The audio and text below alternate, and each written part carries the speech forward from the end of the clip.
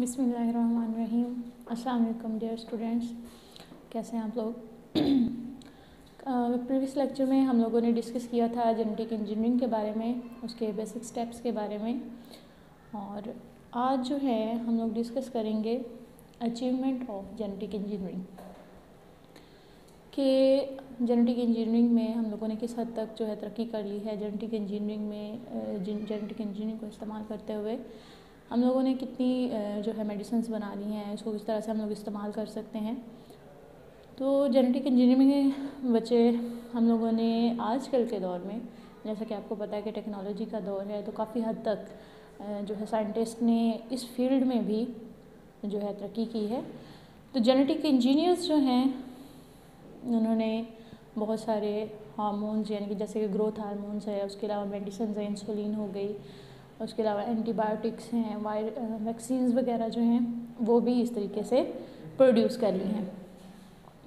तो सबसे पहले हम देखते हैं कि इंसुलिन जो अचीवमेंट टॉपिक जो है हमारा मेन वो है achievement of achievements of genetic engineering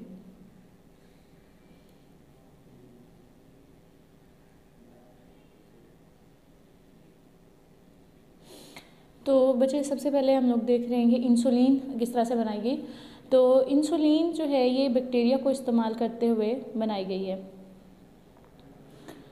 हम लोगों ने जीन का जो एक जीन है इंसुलिन का, वो हम लोगों ने एक बैक्टीरिया के अंदर इंट्रोड्यूस करवाया बैक्टीरिया के अंदर उसको लगाया। तो बैक्टीरिया मल्टीप्लाई करने लग गए और जो है इंसुलिन जो है प्रोड्यूस होगी इस तरह से। अब जो आजकल के दौर में शुगर के पेशेंट्स हैं शुगर के मरीज़ जो हैं उनका जो ट्रीटमेंट है इंसुलिन की जो उनकी डिफिशेंसी होती है, उसको ये सिंथेटिक इंसुलिन के ज़रिए से हम लोग पूरा करते हैं।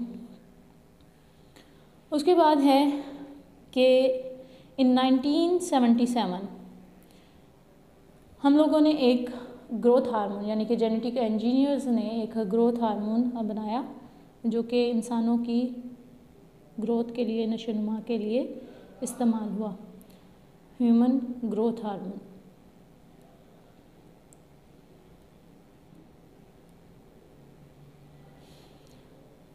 अब 1977 में ह्यूमन ग्रोथ हार्मोन बनाया गया, जो कि आज तक जो है इंसानों की बढ़ोतरी के लिए, उनकी जो है कद में इजाफे के लिए जो है ये इस्तेमाल किया जाता है। उसके अलावा एक और हार्मोन, जिसका नाम है थाइमोसिन थाइमोसिन हार्मोन भी इसी जेनेटिक इंजीनियरिंग के ज़रिए से हम लोगों ने जो है प्रोड्यूस किया है, जो कि काफ़ी इफ़ेक्टिव है फेफड़ों के और ब्रेन के, यानी दिमाग के कैंसर वगैरह में ये इस्तेमाल होता है। और ये भी जेनेटिकल मॉडिफाइड जो माइक्रो ऑर्गेनिज़म्स हैं, उनके ज़रिए से बनाया गया है। थायमोसिन हार्मोन ठीक है जी, उसके बाद है बीटा एंडोरफिन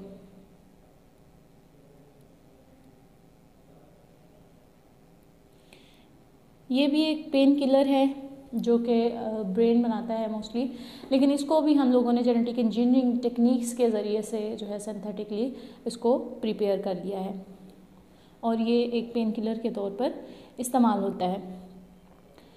उसके अलावा जेनेटिक इंजीनियर्स ने vaccines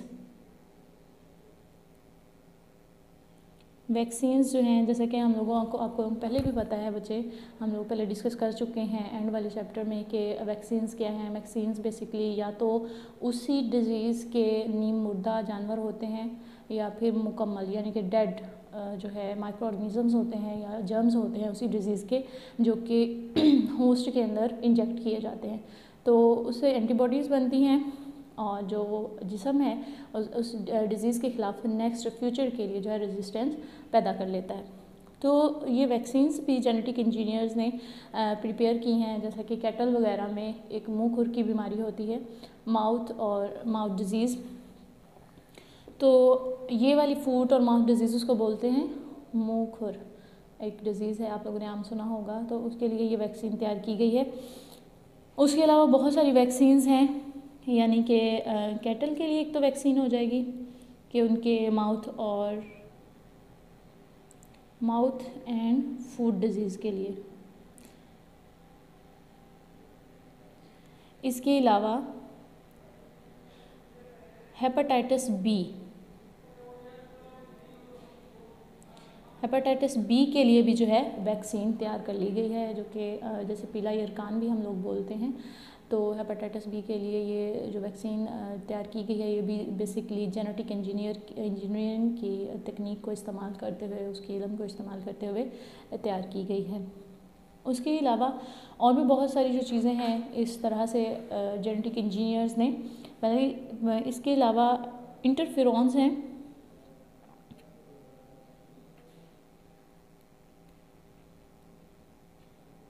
interferons basically antiviral proteins हैं।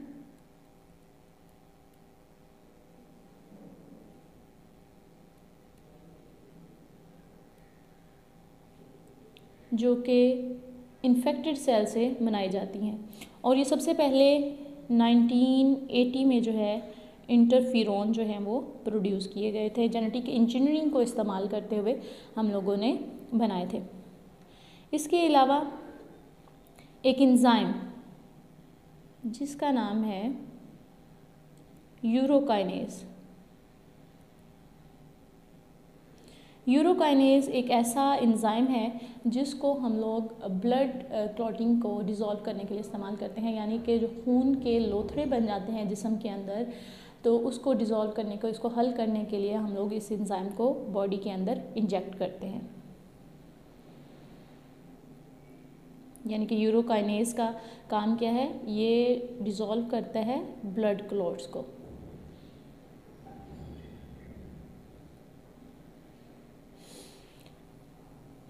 उसके अलावा ये भी जो है जेनेटिक इंजीनियरिंग से ही हम लोगों ने सिंथेटिकली जो है तैयार किया है। उसके बाद हमारे पास बहुत सारी डिज़ीज़ हैं बच्चे, जो कि नस्ल दर नस्ल चलती हैं। यानी अगर एक नस्ल में एक बीमारी थी, माँ बाप के अंदर एक बीमारी थी तो वो उसकी औलाद के अंदर भी मौजूद होती है। तो ऐसी जेनेटिकल डिज़ीज़ को हम लोगों ने जेनेटिक इंजीनियरिंग के ज़रिए से ही जो है, आजकल इसका ट्रीटमेंट चल रहा है। तो इसमें क्या किया जाता है कि जो पेरेंटल सेल्स होते हैं, उनके एग सेल्स को ह्यूमन एग सेल्स को, उनके अंदर ही जो जीन्स हैं, उनको जो है चेंज कर दिया जाता है कि अगर कोई डिफेक्टिव जीन है तो उसको ख़त्म कर दिया जाता है और उसकी जगह पे एक नॉर्मल जीन है, उसको लगा दिया जाता है। यानी अगर कोई डिफेक्टिव जीन है, जैसे कि हीमोफीलिया के अंदर होता है तो वहाँ पे जो डिफेक्टिव जीन है, उसको ख़त्म कर दिया जाता है।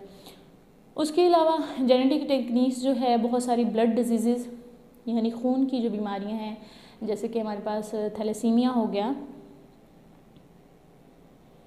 थैलेसीमिया है, इसके अलावा हमारे पास सिकल सेल एनीमिया है।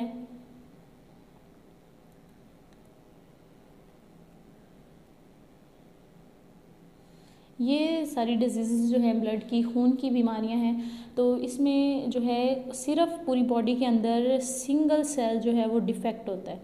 यानी कि सिंगल सेल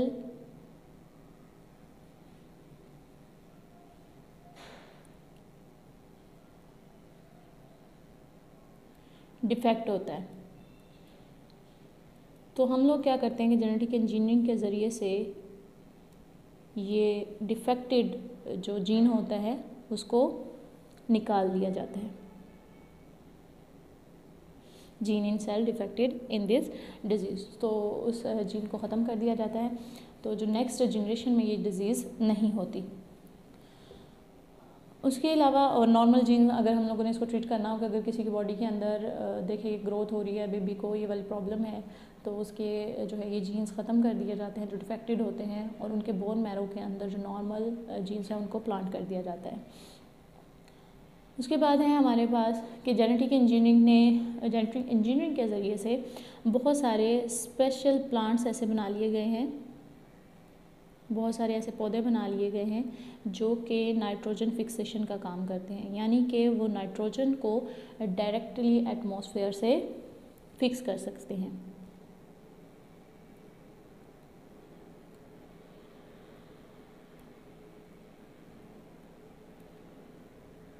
Nitrogen